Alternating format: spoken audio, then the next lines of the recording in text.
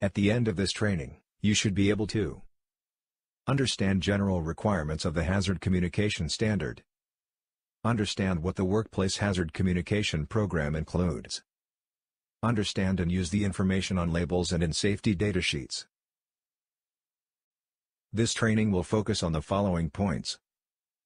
Hazard Classification Hazard Communication Program Labels and other forms of warning Safety data sheets Inform and train employees.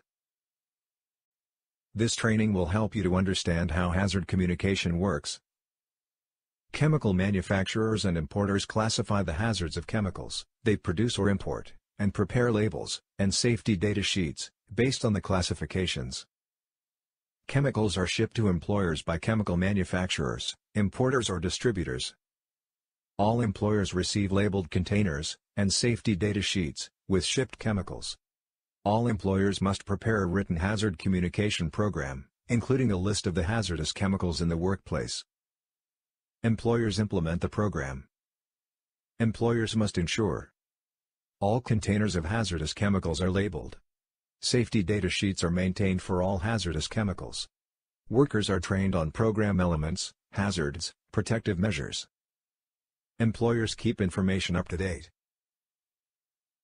Labels are an appropriate group of written, printed or graphic informational elements concerning a hazardous chemical that are affixed to, printed on, or attached to the immediate container of a hazardous chemical, or to the outside packaging.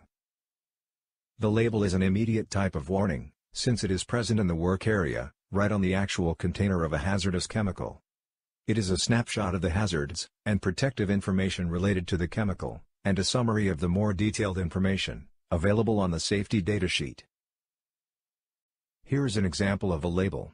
According to the OSHA standard, a label must contain the following information. Product identifier. Supplier identification. Precautionary statements. Hazards pictograms. Signal word. Hazard statements. Supplemental information.